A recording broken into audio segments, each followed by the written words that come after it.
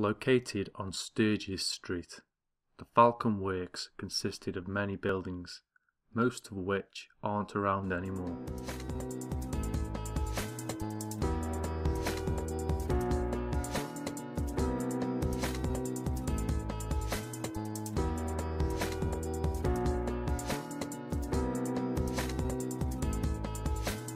Built as an extension to the Falcon Works from 1902 till 1905, these workshops and warehouse ranges is most of what's left.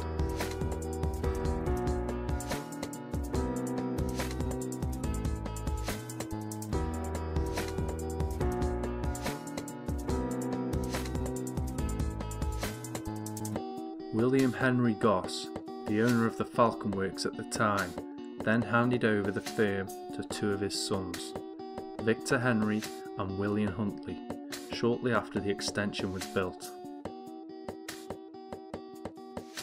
William Goss died just one year later in 1906 and was buried in Hartshill Cemetery. At the time, the business and its effects were valued at £59,603, equivalent to £6 million today.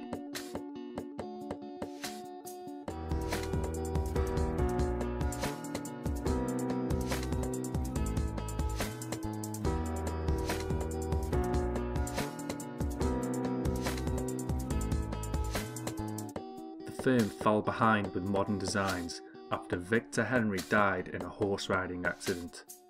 William Huntley was left in charge and wasn't interested in progress.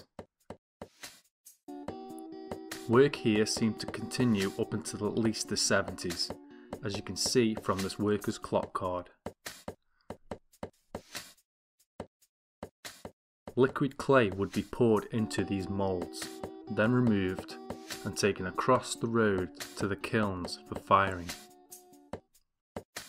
In 2011, the works was sold by Portmeirion to a company called Connexa.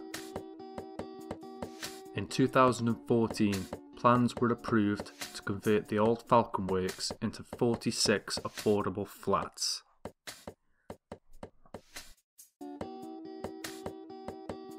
The fate of these old Falcon Works though is yet to be determined.